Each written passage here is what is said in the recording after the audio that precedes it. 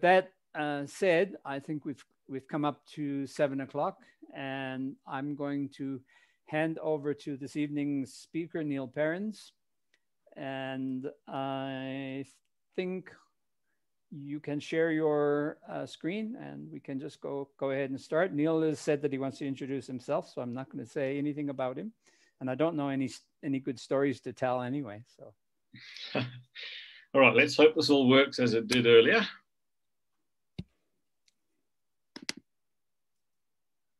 Right, so you should be able to see the the title screen of the of the um, webinar.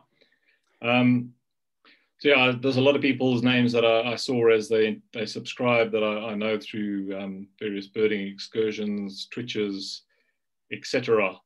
Um, so yeah, I, I, started birding when I was a youngster, um, uh, really in, in home at Randburg. But um, when we moved to Botswana, I was you know nine, ten years old and riding around on my bicycle and birding um, in the suburb around Gaborone. Um, so yes, um, welcome everyone, and um, it is my first webinar for, for Learn the Birds, and thank you all for, for joining tonight. I was, I was amazed at the response and uh, quite daunting to have 100 plus people, people sign up. Um, so yes, at, at, times I'll be going through some more technical aspects of both Scythebill and, and Birdlasser. We have a, a limited a bit, amount of time, so I'm probably going to go through a little bit quickly for you all to to follow it during during the presentation, um, and we we then, if there's enough interest, we'll do a masterclass later on with with either um, BirdLasser and or Scythebill. So yes, I, I began birding as a youngster, and I can remember looking at things like bokmakieries in in our cul-de-sac in Randburg, where they are very uncommon nowadays. Um, and I was probably about five or six years old, just starting school. Um, I enjoyed watching what, whatever I saw. We had huge flocks of sort of sacred ibis flying over the house, um, probably 100, 120 at a time. And nowadays we saw, see sort of 10 to 12 flying over, over our house. Um, and I, I, never thought counting birds was a thing. You know, I, I, went and watched birds and I enjoyed watching what I was watching and, and never gave a hoot about uh, counting them or, or creating a list. Um, so, so we moved to Botswana, um, and there sort of really got into it. You know, we're seeing waxbills, crimson-breasted shrikes, Namaqua doves, indigo birds, as I was riding around the suburb. And just outside town, you would see hornbills and Meyer's parrots and that type of thing. So my folks, my dad was a bird watcher, so he's the one who was really to blame for for my my passion. Um, and my folks used to take us out into the bush every other weekend and really had a good time in Botswana for the two years we lived there.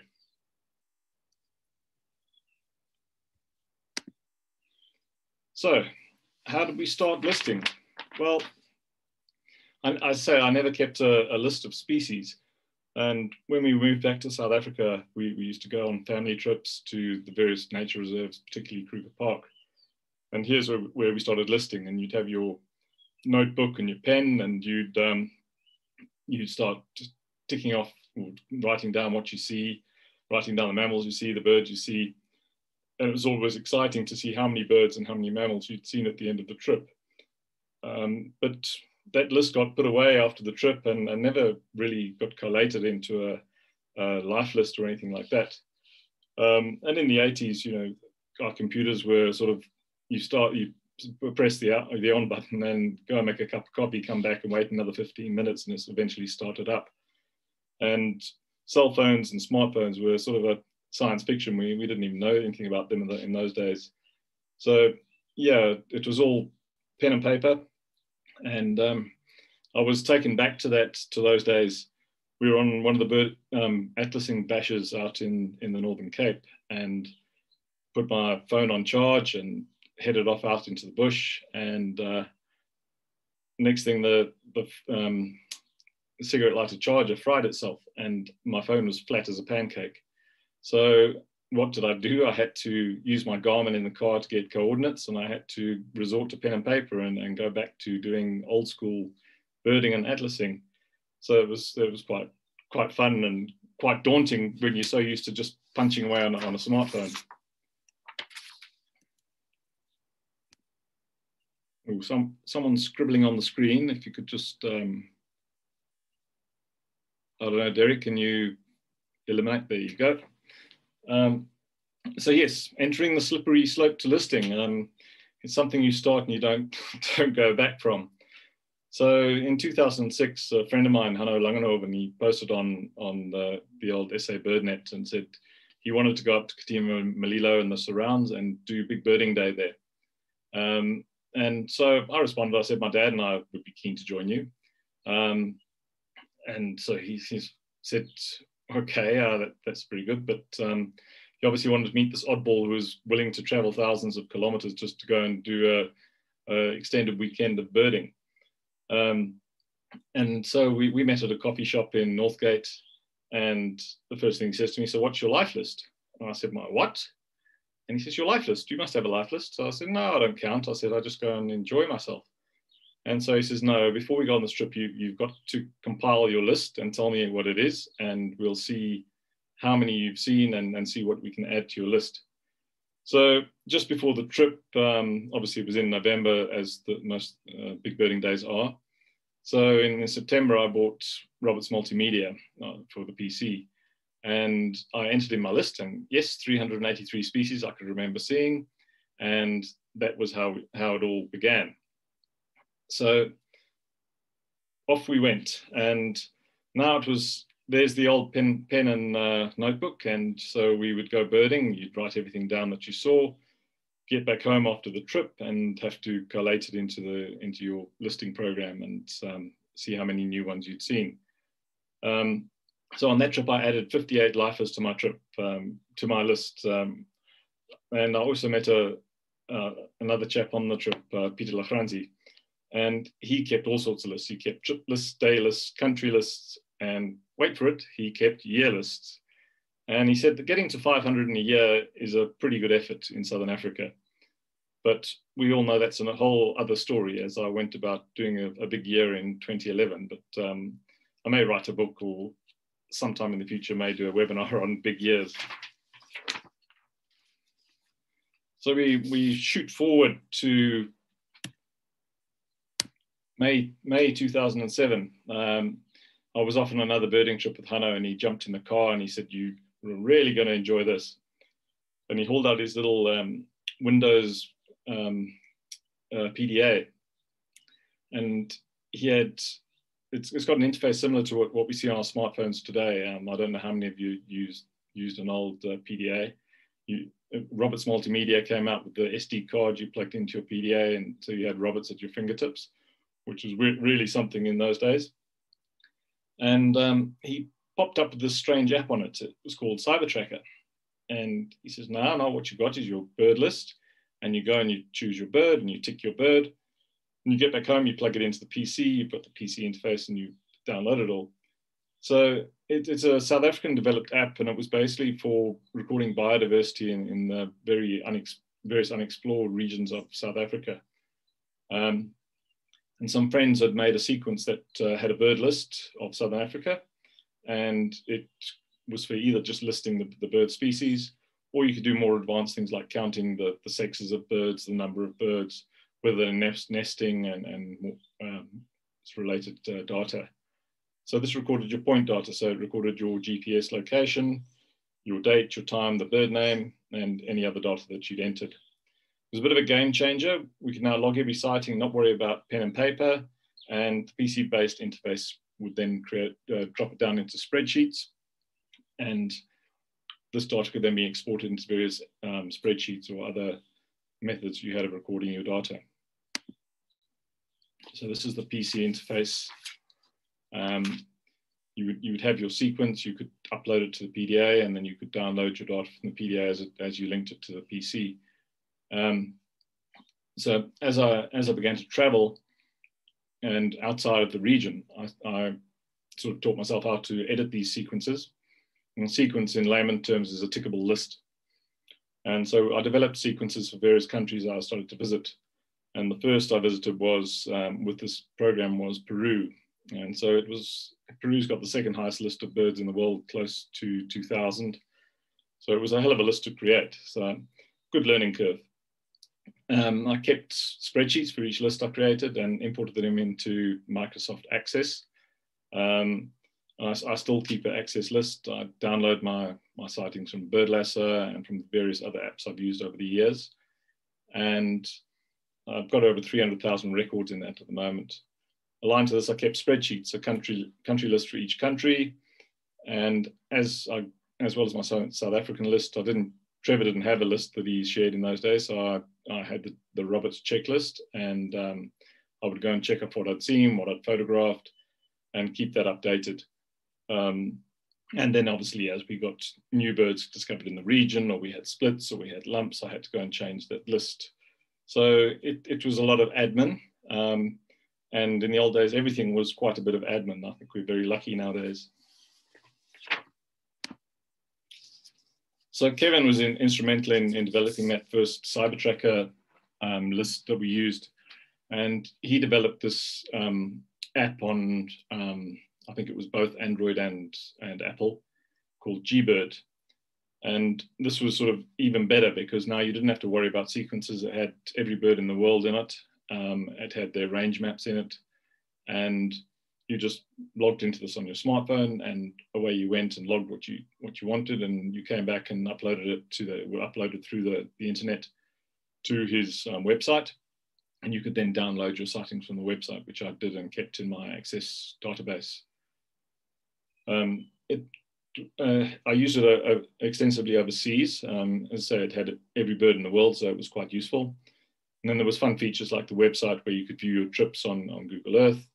It um, would also mark a species as red if you recorded in the field and it shouldn't be where you are. So you, you knew straight away if you've got an outer range bird, you needed to have a look a lot more carefully and make sure you, you knew what you were seeing. Um, but unfortunately, support ended sometime around 2012 so we had to switch to something else to, to do our lists. And then we'll diversify a little bit now um, into the atlasing. Um, SABAP 1 was, took place in the, the early to late 90s. Um, SABAP 2, um, which is run by the Animal Demograph Demography Unit of the um, um, University of Cape Town, um, started SABAP 2 in, I think it was July 2007, and have since diversified, diversified it into BirdMap, which covers um, every other African country that, that does atlasing. So it was two months after I started using CyberTracker. Um, and so I had had my data coming into spreadsheets anyway. They had something called the data management system, which I hated. Some people loved it and still love it and tr still try and use it. It was very, what I'll call clunky. Um, and it was the preferred choice to enter data into, into the project. So you go out, you'd record the bird you saw in a pentad, and you would come back and enter it into the data management system, which to me is, um, I don't like, I like to take shortcuts. I like to make things easy. So I would dump the spreadsheet out of, out of um, CyberTrack at that stage. And I would then import the spreadsheet into the other alternative to the DMS, which was um, entering it into a spreadsheet manually and um, then uploading it to, to the ADU. And I uh, manufactured a couple of formulas that made it really easy. Just had a couple of things to do on timing, uh, so whether you'd have done one or two hours um, or more, and then how many species per hour. So in pretty much quarter of an hour, I could get my whole trip done into the various pentads I visited and upload it. Um, and it worked very well. So after that, um, I say it continued for several years. Years, um, smartphones became more sophisticated, and the trusty PDA remained as my means of capturing my in-field data on CyberTracker. And then along came Lynx BirdTix, and I've pretty much for, for a long time I've used an iPhone. Um, so you've got your two two operating systems, your iOS and your Android phones, and these chaps developed Lynx BirdTix, but only on the Android um, system. So this was also sometime in 2012 when GBird had sort of stopped functioning, and it worked out your time that you spent in, in a pentad, your effort, and had the completed bird list, um, which you ticked off. And it worked out the pentads, it told you when you were changing pentads, how many species you'd seen per hour, and so on. And with a few entries at the end of your, your trip, you could um, put in whether it was full or ad hoc card and so on, and then you upload it straight from the app directly into the server. And it was a godsend for, um, for Android users, that is, and probably assisted in getting a large number of people um, involved in the Atlas project because the, the, the, amount of admin that most people spent on, on the Atlas project was really a, a deterrent for them um, submitting data to, to the project. Um, and unfortunately, as I had the iPhone, I wasn't able to use it. So I went and um, found an El Cheapo phone, about 300 Rand at CNA, which was an Android, and wanted to see how this thing worked. And then I started to use that um, with my clumsy big fingers. I got um, a few errors in the, the, species, of course, as we still do. Um, and it was, it was really easy. And we started to come across some, some fairly bad bugs in the system. And we, we started to um, send the requests through to the guys at, at Lynx saying, please, can you fix this? And they were very unresponsive, um, which was quite annoying. Um, but I think the developers were in the US, so you've got the, the two-tone, um, uh, two-tier problem is that you've got to report it to the guys in, in SA. They've got to take it up with the guys in the States. The guys in the States then have to find the time to do it, send it back down. The guys in the SA have to test it. And um, so it, it sort of died a death. And it died a death when the system we all know nowadays, Birdlasser. So spot, plot, play a part. That's their slogan. Um, and this came about in April 2014. And I was contacted by a friend and said, "Do you want to be a tester of this new this new product?" Um, and so I said, "Okay." It's a company called Legit, um, comprising a team that was led by Henk Nel. And it was pri primarily for bird um, atlasing in South Africa when it was first released. Um, it was released I say in April 2014 as, as a test space. And that was only on iPhone and Android was roughly a year later. So I took it on. I said, okay, I'll test this thing.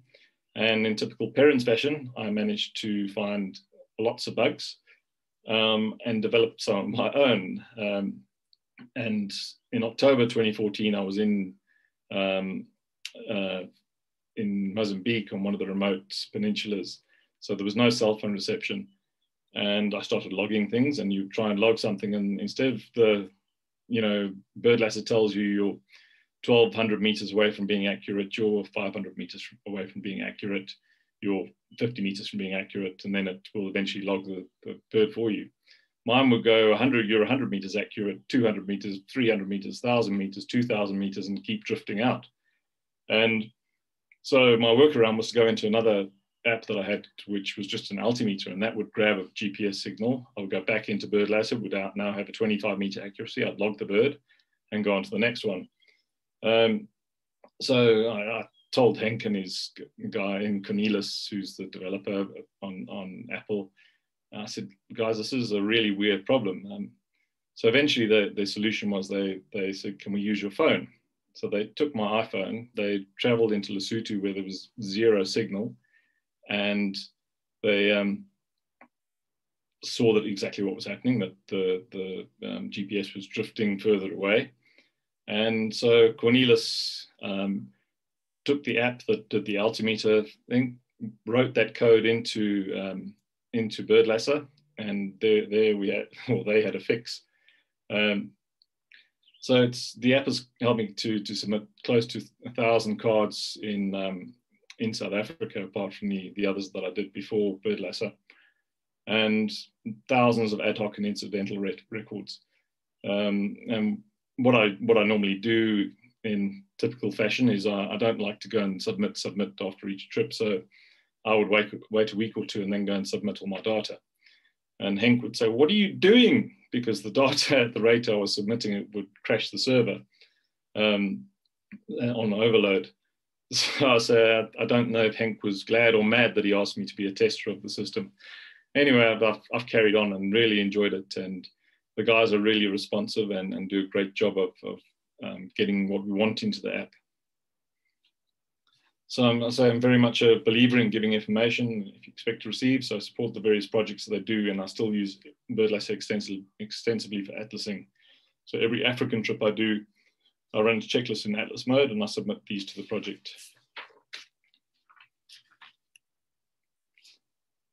So BirdLasser has expanded. Um, it's now used in every African country that runs an Atlas project. Um, it uh, runs under the title of BirdMap. Uh, it's such an easy to use system that um, the guys in the various countries have, have, taken it up very well. And we're starting to get good coverage in countries such as Nigeria, Uganda, Kenya. Uh, Tanzania's got their own system, so they do not run it. And I believe it's in a few other other countries. Um, it's obviously in Southern African countries, um, Namibia, Botswana, Zimbabwe, uh, Mozambique, um, but they were taken up later than, than the South African project. Um, so yeah, if you, if you if you're traveling um, and you're in Africa, please uh, log what you see on BirdLasser. The, the countries are all there.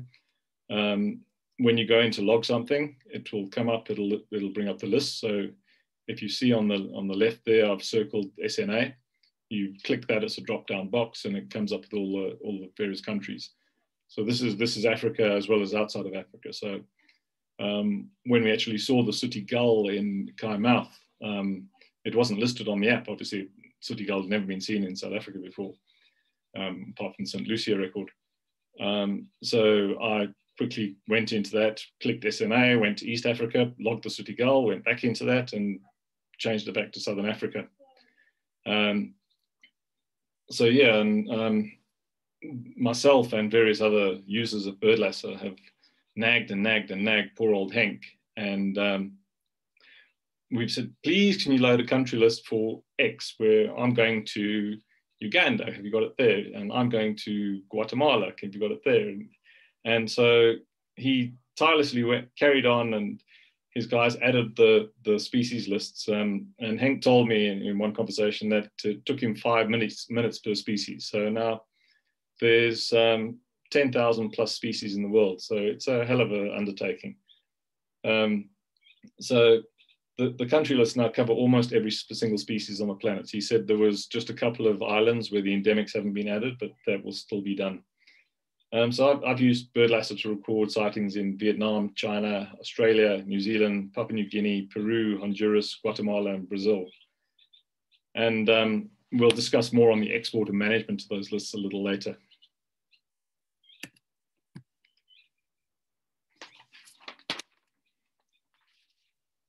So by entering your data into a log trip card, um, then on iPhone, pressing the, the three dots, uh, it's a little different on an Android phone. And we'll go through, through that at a later stage if anyone really wants to.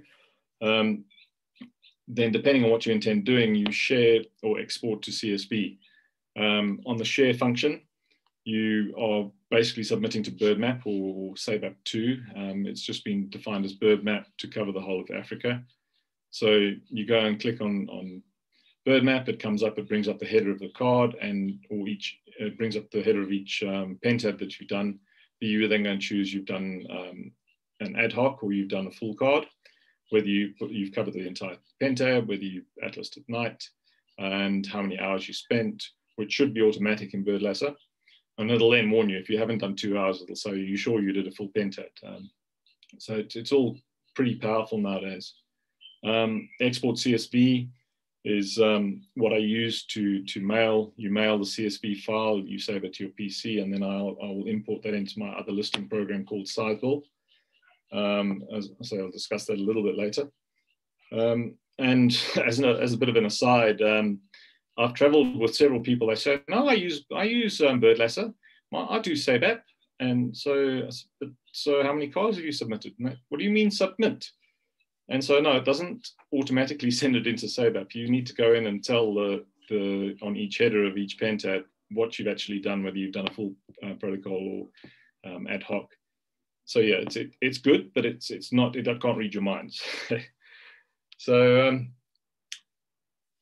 on to our next thing. There's um, it's a lesser known feature of of BirdLasser. Um, so it keeps a list of of everything you log, um, and it can. So initially, you'll have the top top line there that says all. So it'll it'll show you how many species you've logged throughout the world, and then you press the plus button on the top right, and you can add things like I've added the African continent, Gauteng, Kruger National Park, South Africa, Southern Africa, wider Gauteng, and Zimbabwe.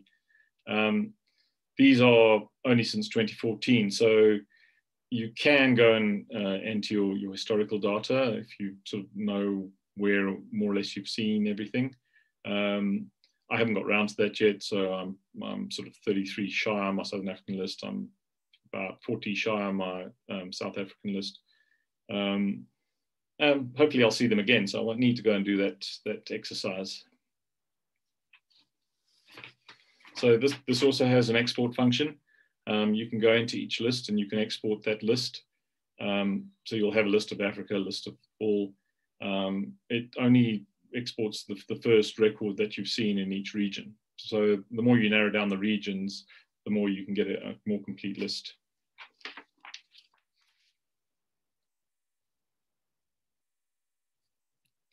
So one of the reasons um, a lot of people came onto this was Darby Kleinhans posted something on Facebook, and I, I, saw a lot of people who'd commented on there are now uh, attendees on, on this webinar. Um, and he asked, what do you use to list your birds? Um, so not just birds, but everything else. So there's a whole other host of apps out there, and um, Struik Nature has, has got a, a lot of them. Um, the other chaps who did Bird Pro have also done the Dragonflies and the Tree app that you can see on here. Um, Collins Bird Guide is, is um, the electronic version of the book. It was launched back in 2014, I think, at the British Bird Fair.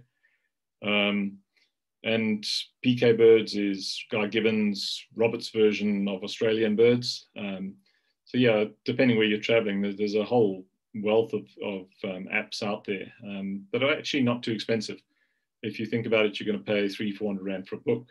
Then you've got to tote that book around with you. You pay three, 400 Rand for an app, and then it's, it's all at your fingertips. Um, I was very involved with, with Sasol, um, both on the book side and, and the eBird side. Now I'm still um, involved in getting uh, the little buggy bits that people keep finding out of it and adding uh, content to it. But one of the very powerful sides of, of Sasol is the, the listing side, which um, it's highly confusing when you first go in and you don't know how it works. But once you sort of work on the logic and get your head around it, you can get some incredible lists out of it. Your day trips, trip lists, um, site lists, year lists, uh, really, really, really powerful. And the other eFrogs, eGuide to Birds of East Africa, your e-snakes, uh, Stuart's SA mammals, and butterflies of SA are all produced by Struik Nature and all have similar interfaces, so you can make really powerful lists out of them. And added to that, you can export um, into CSV files, so you can import it into the various um, apps that you may have, or Scythebill, as we will discuss in due, due course. So in, in 2010, I went to Uganda and I met a crazy American um, who had 5,000 birds on his world list, but they were all on this, this um, program called AviSys. And as I've titled it there, it's great if you love Clements, and it sadly died with its creator. Um, so there's, there's two main um, taxonomies in the world. There's Clements, which majority of Americans use, and there's IOC, which the rest of the world uses. Um, so IOC tends to split more liberally, unless you're in America where Clements tends to split more liberally. So it's quite an interesting thing. So anyway, I, I, watched him entering everything into this program and getting some reports out of it. He showed me how, how it worked. I thought this is a really good system. So I, I actually bought the, the package um, and I then had had the issue that was only based on Clements. So I would go enter my data and Atlantic and Indian yellow-nosed albatross are one species and northern and southern royal are one species. So I always had to reconcile between my South African list and my um, list.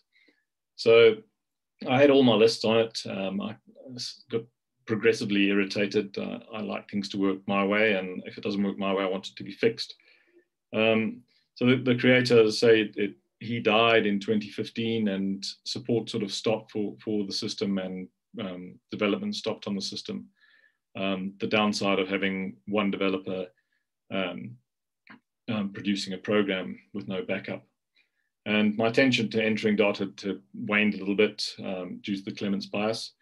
And then we move on to 2012. And I found during a search, I think it was on, on the web, a program called Scythebill. Um, so I, I, had a look into this and I opened it up and I looked at the, the website, looked at the manuals and thought this actually looks pretty damn fine. So it's a, a chap called Adam Winer, it's Brainchild. Um, he's a software developer. Um, I think he still works for Google. I, am not sure, but I think he is. Um, and he's developed it as open source, open source so that um, the code is freely available to anyone who wants to have a look at it. And if he should get hit by a bus or something else, someone else can take over that code and carry on to develop it. Um, so it's not likely to die uh, with him as, as happened with AviSys. Um, and I've not looked back. I've, I've imported my data. It's, it's got a very, very comprehensive manual which shows you how to set up your spreadsheet. So all my country spreadsheets I took and just had to manipulate slightly and imported them into this into this program. Um, so I now have my entire world list sitting on on Scythebill.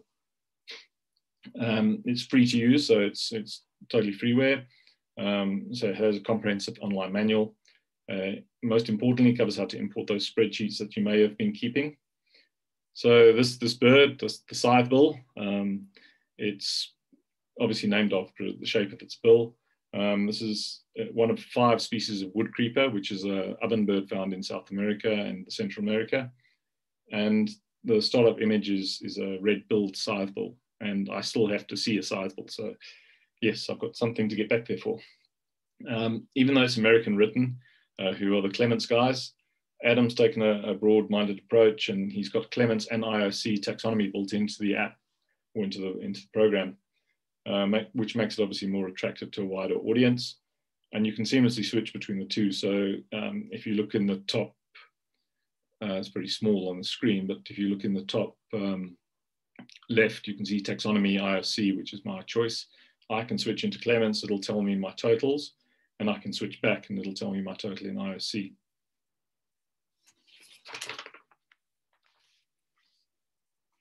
So it starts up with quite a neat menu. Um, the default is the top life list, so that's my world life list. And it'll be the only, only line item there when you first start the program. Um, and I've added, so these others are my own that I've added, such as Africa, Southern Africa, and so on you can change that and, and delete them and add other ones through the reports menu.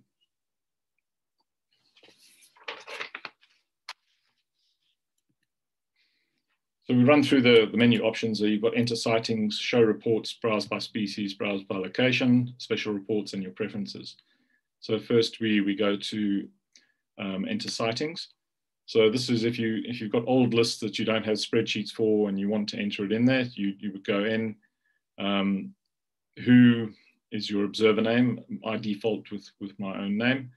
Um, when you put your date that you recorded it, your start time, and where. And um, we'll go more into locations later, but for example, I put here's the 21st of Jan, 7 o'clock, in my Randburg garden.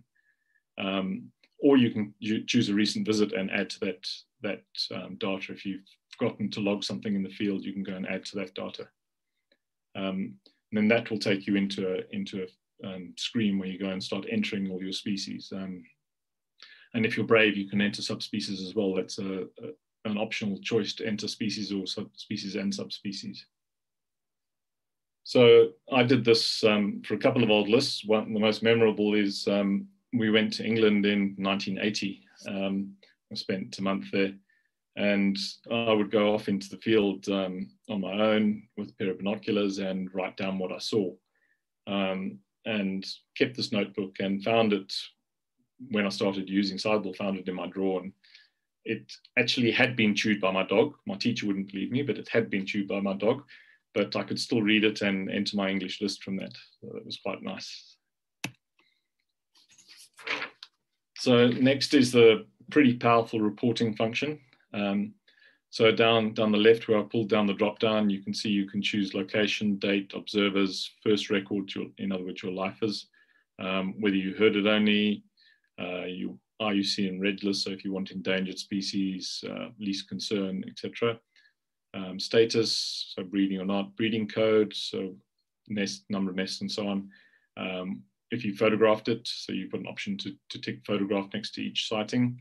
Um, any notes you made, uh, your visit comments, sex and age of the birds, time sighted, family, subspecies, species, hybrid. So these are things that you you may or may not enter. Um, most of my my sightings, I mean, you you flying through through the bush, Krug or whatever, and you're just logging the species name. And if, if it's um, evident, you'll log it as male or female. But um, so the, the majority of my my reports are location with date, um, and pulling out my life lifers every now and then, and whether I photographed it or not. Uh, those are probably the main main things I use. So if you look at the bottom sort of last little box on the right, it's got remember written in there. You click on remember and it'll it'll pop it up into your your list on your start screen. So if you went um, location South Africa um, and left the date blank, and clicked on remember, it would put South Africa up on your, your um, startup screen. So it's, it's quite useful if you want to just have those, um, those items as you, as you go into the program. So you can browse by species. Um, so you, it'll show your own sightings on the right. So you'll choose the species. Um, it's, it's got an intelligent, uh, same as Birdlasser. So you'll type FMCU and it'll bring up African emerald cuckoo. Um, and the reason I chose African emerald cuckoo is because you usually hear them more than you see them. So if you look on the right hand side, you can see all my sightings, but um, it's got a little H in front of probably the, yes, the vast majority of them on the right. Um, so yeah, it's, it's nice to see. I, I, record everything whether I've heard it or seen it on Birdlasser um, with your left swipe of your thumb. Um, and that transfers through into Scythebill. So it's, it's quite nice to to be able to say, I want to see my, I want to have my seen only or my heard only records.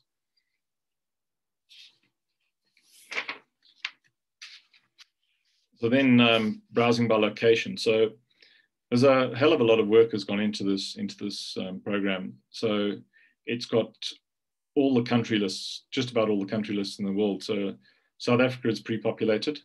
Um, we've got so a little small discrepancy, and it's mainly due to um, things like Elgin buzzard um, and possibly a, a, species that hasn't been seen for many, many years, like mute swan is on there. Um, so I think it should be 865. Um, so on, on the country, so I've gone to South Africa, and the top line in bold, so shows your total species seen. Um, in brackets, how many of the endemics you've seen. And then the next set is you've seen 780 out of the 867. You've seen 17 out of the 18 endemic. Elgin buzzard is listed as an endemic, that's the reason. And you've um, still got 26 lifers to see in that country. So from my side, they're probably mainly seabirds that I still need to see. But the, the other um, fun thing here is you can say hide rarities. So I clicked on hide rarities earlier to see what would happen. And I was very pleased to see that I've, I've got uh, new South African pass rate of 107%. I've seen 780 out of 730 species. So as you as you start to use the program, um, and if you look on the bottom left, you can see Northwest and the various um, locations that I've created, Essen, Essen Surrounds, uh, Assen Road, and down to Borakalalo National Park. So here I've jumped to Borakalalo National Park and it gives me my total records for the park of 275. And if you look on the column on the right, you've got dates of your visits. So you can go and choose any of those those visits and go and see how many species you've seen in that in that visit.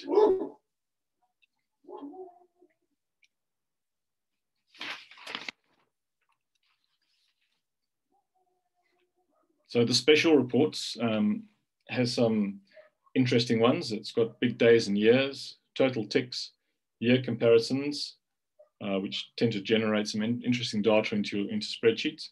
um, splits and lumps, which is quite useful when you update the program with the latest version of IOC or Clements, and it will then show you what you've gained or lost. So birds are getting split all the time, and occasionally some get lumped.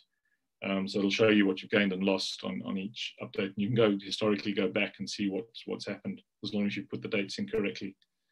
And the last one is quite fun. It's a World Lifers Map, which will show you how many birds you can still see in each country um, on a, base, a web, web-based uh, page, which I'll show you next.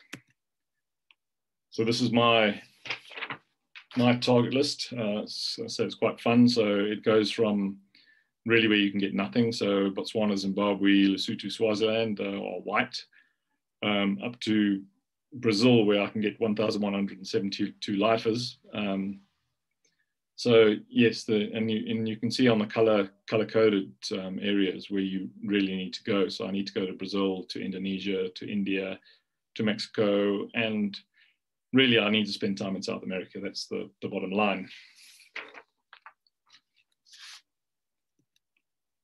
So the last, the last option is your preferences. Um, so your taxonomy at the top, your, your main taxonomy, so that's IOC um, as opposed to, to Clements.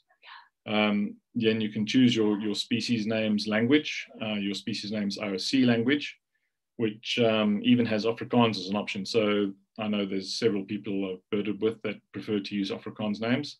So it'll have your Afrikaans and your scientific in your lists. Um, so although the menus are in English, you, will still have your Afrikaans lists. Um, and the other options, you can't introduce species. So I think um, they've been here so long that we have to count them, things such as common myna, um, house sparrow, and so on.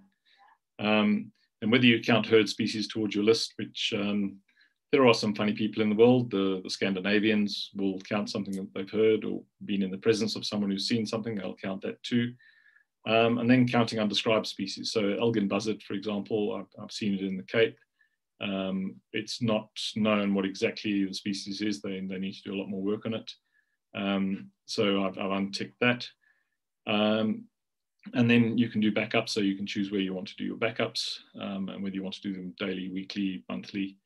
Um, and then observer preferences. So you can have yourself and your wife or partner and or you can add several other people if you're going on a trip and want to have their their um, observations in, on a on a card. So where you saw me enter the the manual card, you can actually go and add different observers. So you can have a, a, list for them as well of each thing that you've you each list that you've done.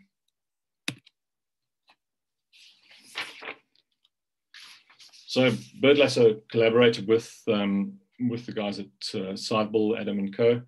Um, to make imports of their data compatible with with the software.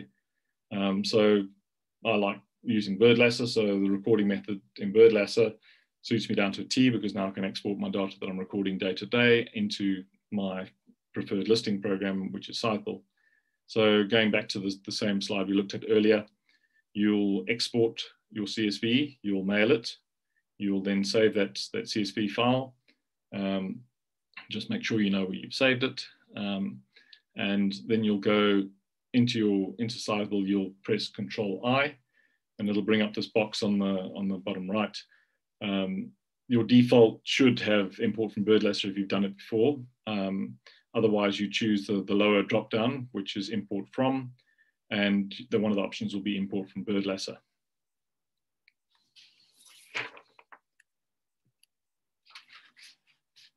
So as, as you start to import data um, and initially it, it's quite cumbersome because every every single location you've been to and recorded birds, it's going to want to put a new location in. So initially it's got South Africa and it's got the provinces. So this, for example, was a trip to Northwest. Um, we were going looking for monotonous larks um, near Assen.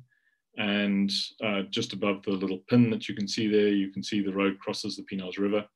So Assen Road to Pienaar's River Bridge is probably the closest hotspot um, in eBird. So I've chosen that and, and dropped my data into that. And then you'll click next on the bottom right and it'll carry on. And so as you bird more and more in an area, the, the locations will be saved in Scythebill and it will just slot them into those locations and you won't need to go through this every time.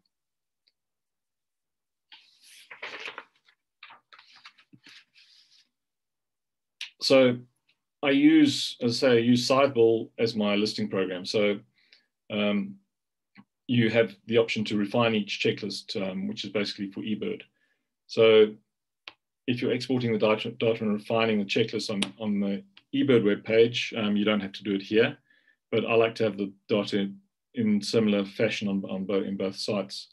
Um, so uh, I choose browse by location. I choose Gomo Gomo because I knew, knew, I'd been there. I chose the 15th of January, or I think that was the 16th of January.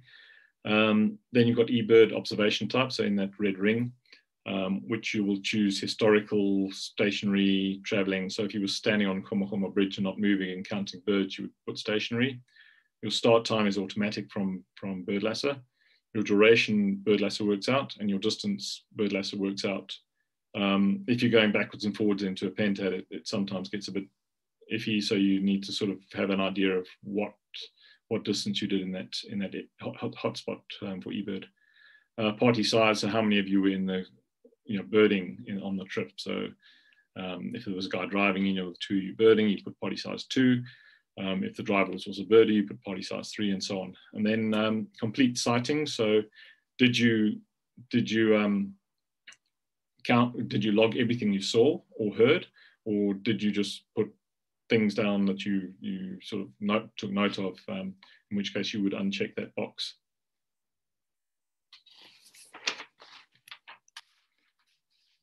So setting up an eBird export. Um, so I was traveling, I was birding on the 15th of January.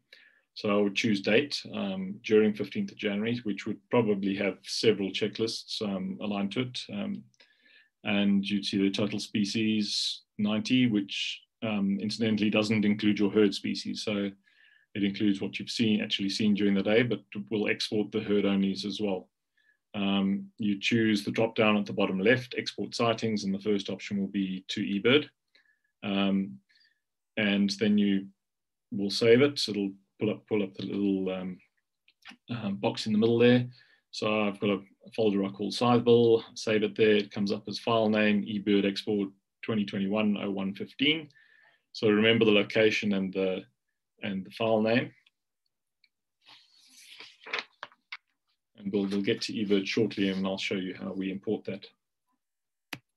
So the, the other thing in, in Scythebill is um, it allows you to develop your own taxonomies. Um, there's various taxonomies available on the website.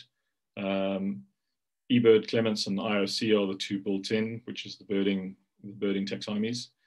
Um, I've then downloaded Australian reptiles, Australian frogs, and mammal watching, which are on the, Scythebill website. Um, then I created my own, which was reptiles of South Africa and Odonata of, of Africa, which is your damselflies and dragonflies, and butterflies of South Africa. And the, the manuals are, are super well written and, and, easy to follow. So it's quite easy to, to develop the spreadsheet and import it into a taxonomy. So if you want to put orchids of South Africa or whatever, you you be quite easy. It would be quite easy for you to make your own taxonomy just with a little bit of reading of the manual. So, on to eBird. Um, I know uh, the the SABAP guys don't want me to really discuss eBird because uh, um, there have been people who've shied away from SABAP saying it's too cumbersome, and have started logging things on eBird. Um, eBird sort of was is, is a Cornell um, Lab of Ornithology brainchild. Um, so it was developed in the States. Um, and I, I, use the eBird data when I travel overseas. So I'll go to look at the various hotspots, I'll see what's been seen, and I'll see where, where I can go and find the various lifers that I need. So um, you, when you take, you've got to give. So I, I, share my data with them as well. Um, pri primarily my South African African data goes to SABAP um, but my hotspot data goes into, um, into eBird as well. So this is all exported from Scythebill. Um, and if you noticed an earlier slide, um, one of the options in, in um, Birdlasser when you go to export is export to or, share the data, export to CSV, and the next option is export to, to eBird. And anyone who looked closely would have seen I put a red line through that. Um, basically, the reason is every eBird hotspot you go into, you've got to do a new um, trip card on Birdlasser to do. So it's quite cumbersome to do that because you've got to know what hotspot you're going near and you've got to start a new card for each hotspot, which doesn't then work with your pentads because the, the pentads and hotspots will differ.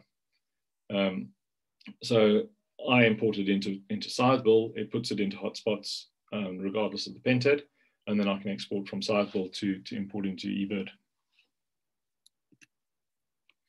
So this is your sort of my eBird page that you'll get on, on um, the eBird website, ebird.org. Um, and once you go into my eBird, you're going to see a list on the left to manage my checklist locations alert data import. So we're going to go into data imports and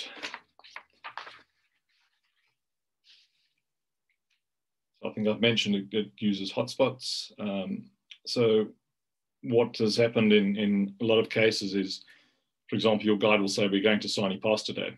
So you'll get eight Americans jumping into the combi and they'll go, okay, we're going to Sani Pass and they'll log in everything under Sani Pass. Um, so you'll get things like Kelp Gull going right up to Mountain Pipit. Um, so there's there's some inaccurate data in there. There's a lot of guys vetting the data nowadays. Um, so it's becoming more and more accurate. Um, and you'll actually see some of the, the older hotspots have now got um, in brackets after it's got please be more specific. So they'll keep the old data, but they want you to go into a smaller based hotspot. Um, in, in America, you can go into a park and you, every single hide will have its own hotspot and every single section of the park um, will have its own hotspot. So it's a bit of an overkill. Um, but yeah, as I say, if you're traveling wide, uh, eBird is invaluable. So how do I get my data into eBird? So you've clicked on data imports on, on the left there, and you'll come into this, this screen. Um, so we exported from Scythebill, as I showed you earlier, um, and you need to remember that uh, folder and the name. And you, in order to start doing this, you obviously need to register on eBird, have a, a login um, so that you have a My eBird account. Um, and you go to import a file, you choose the location where that you've saved that file and import it into this. Um, it, if you've done the process correctly in, in Scythebill and put it into hotspots or Google um, locations, it should be pretty seamless. Um, otherwise, it will say, okay, you need to just, um, you need to identify this location. And if your species haven't got um, subspecies names, you will need to, um, you'll need to identify which subspecies it is. So it's not an American white egret or great egret, it's a, an African great egret, for example.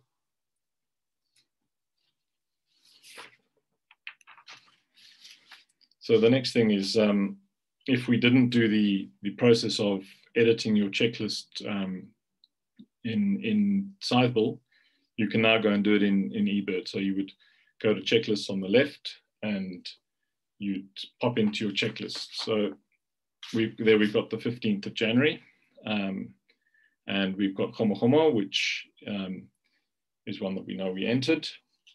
And so we will go into Gomo Gomo. You'll click on the date, 15th January, uh, number 5726. So here you've got um, two options. You've got on the top left with the arrow, you've got edit date and effort, and on the right, you've got edit species. So our first process is to go and edit date and effort. Um, so the species numbers were dropping as we were there in the evening. Um, so I felt it was complete. So I would put it as complete. We were walking on the bridge um, for about a kilometer. Um, so it automatically has the start time. It automatically works out the duration. I changed the observation type from historical to traveling and entered the party sizes too. You click on save changes.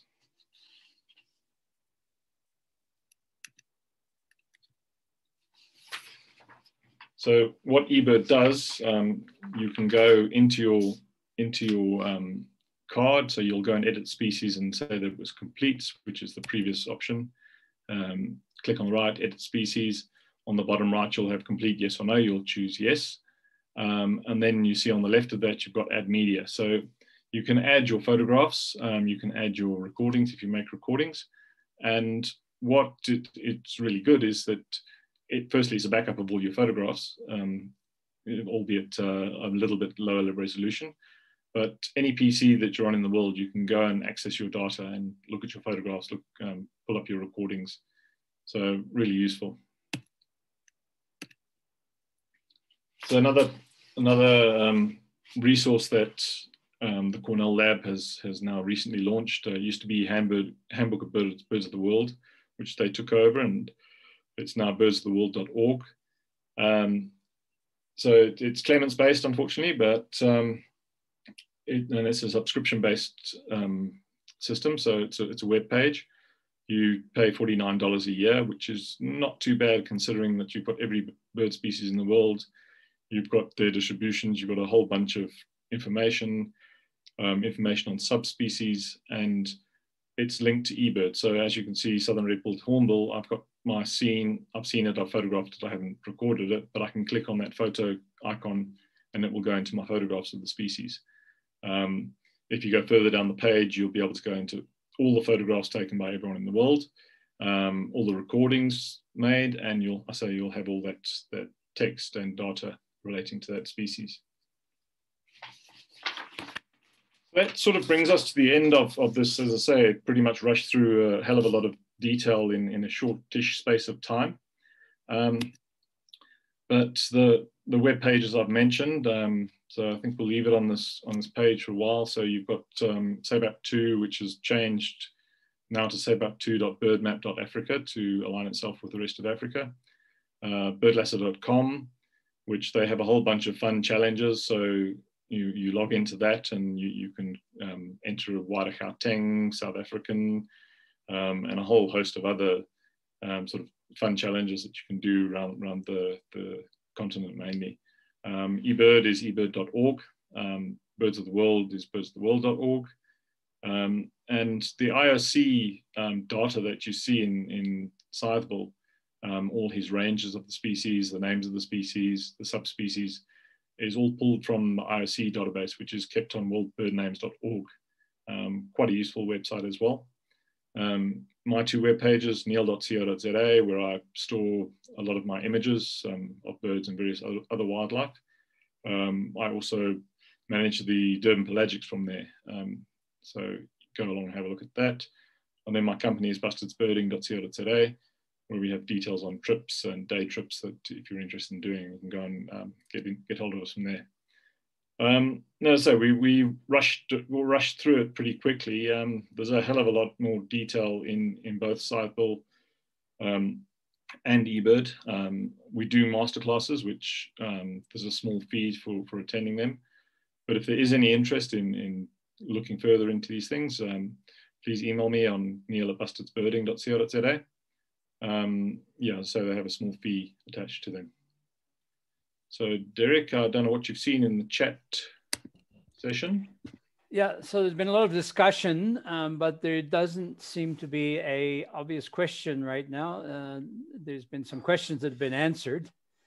Um, and uh, there's one from uh, from someone who's asking, did you ever consider go iTerra? So yes, I, I have. I've gone on iGoTerra. Um, I've subscribed to iGoTerra for a few years, um, but it's it's not to me. It's not as straightforward as um, you know. E- eBird is not my primary listing program. So similarly, iGoTerra is not my primary listing listing program. Um, I've loaded several of my photographs up where they haven't had photographs, just to sort of get them a more complete database. Um, but I also found it quite difficult to use. It, um, it's pretty involved to go and create a list. Um, so I didn't want to go and you know reinvent the wheel type thing. Are there any other questions, folks? Uh, please put them in the chat. Uh, while we're waiting for a couple more questions, I'm going to just put in a plug for next week's webinar. Um, for, for those of you who are interested in exotic places, we have a presentation from a very exotic place uh, next week. It's called Birding the Wildest Islands of the Caribbean, Trinidad and Tobago. And it's being given by Faraaz Abdool. Uh, I don't know if any of you know Faraaz, but he is, he eats, sleeps, and lives and breathes birds. Uh, he's written a book on birds uh, in Trinidad and Tobago. He's also a, a tour guide for the region, and uh, he's is a magnificent photographer. I've seen some of his photographs and some of the things he's going to use in his presentation, and I think you're going to be blown away. So please don't miss that one next week, uh, January the 28th uh, at 7 p.m. in South Africa, and birding the wildest islands of the Caribbean. So let's see what questions we have here now. Um, uh, Etienne is saying it's worth just recognizing Niall's huge contribution to bird atlasing and monitoring in the region. Uh, very interesting talk. I've been sitting on the side on Scythebill.